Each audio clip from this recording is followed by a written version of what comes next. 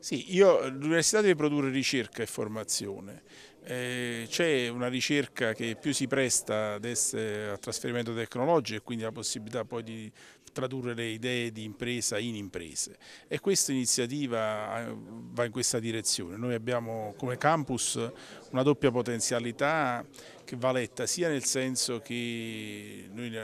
abbiamo la fortuna di avere colleghi di, di, eh, di formazione diversa che collaborano a stretto bra braccio, quindi braccio a braccio e quindi hanno la possibilità di potersi mettere attorno a tavolo sia persone che vengono dai saperi scientifici piuttosto che dall'area umanistica e quindi eh, partecipare in maniera concreta alla ideazione di imprese e poi alla realizzazione. E poi c'è il discorso che noi abbiamo come campus la potenzialità di poter immaginare che in una fase successiva, quando eh, sperando che si esca definitivamente dalle imprese, dalla crisi, eh, imprese qualificate, selezionate il più possibile anche che nascono diciamo, dal mondo stesso dell'università e comunque ad alto valore tecnologico e coerente rispetto al disegno dell'università possano fisicamente insediarsi in un territorio che, che si caratterizza sia in termini diciamo, di sicurezza, eh, sia in termini diciamo, di logistica, quindi di, di viabilità, ma si caratterizza soprattutto perché oggi le imprese cercano come materia prima che